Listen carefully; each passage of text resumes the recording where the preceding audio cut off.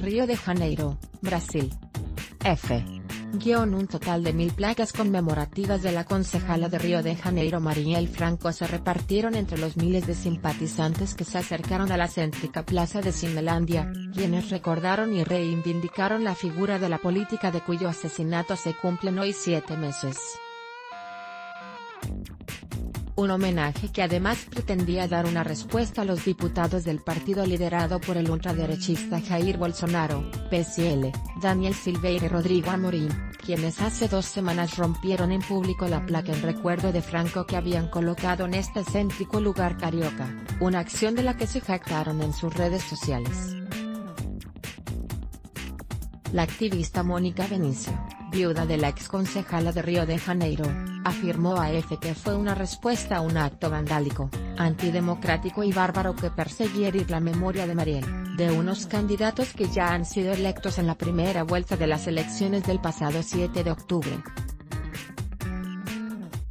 Hemos hecho una recolecta de dinero por internet que tenía el propósito de hacer 100 placas iguales a la que fue destruida, y conseguimos dinero para la construcción de 1.000, explicó Benicio.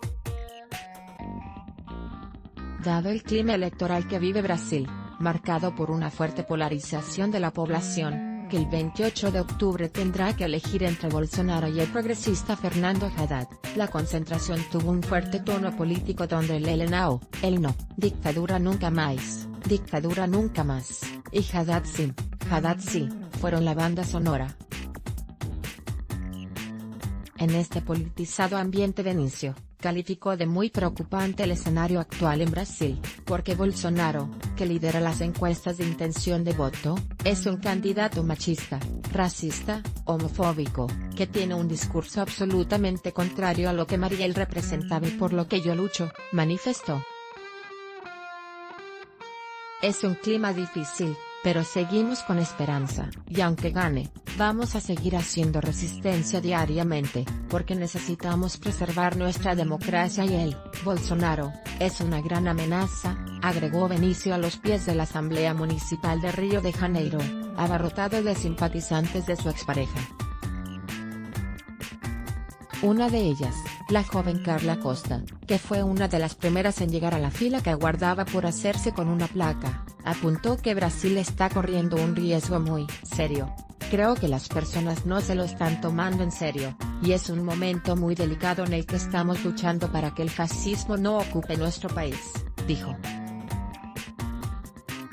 Corremos mucho peligro de perder los derechos que hemos conquistado hasta aquí, agregó Costa quien calificó de gran falta de respeto las acciones de los diputados del PSL, ya que subrayó que no es ni una cuestión política, es una burla a la memoria de alguien que luchó mucho por nuestro pueblo. Para una de las organizadoras del homenaje, Marta Mendoza, este hecho realizado por integrantes del equipo de Bolsonaro, la ruptura de las placas, uno de ellos uno de los diputados estatales más votados en Río, es una demostración de la escala de odio que está tomando la política en Brasil y de la polarización. Es un absurdo hacer eso con una mujer que era negra, pobre y superó dificultades, quien por defender a la población de la opresión de las milicias se llevó cuatro tiros en la cabeza, expresó Mendoza. La viuda de Franco también reivindicó en el acto la necesidad de apurar responsabilidades por el crimen de su compañera, y del que apenas se sabe nada siete meses más tarde, y enfatizó que necesitan respuestas.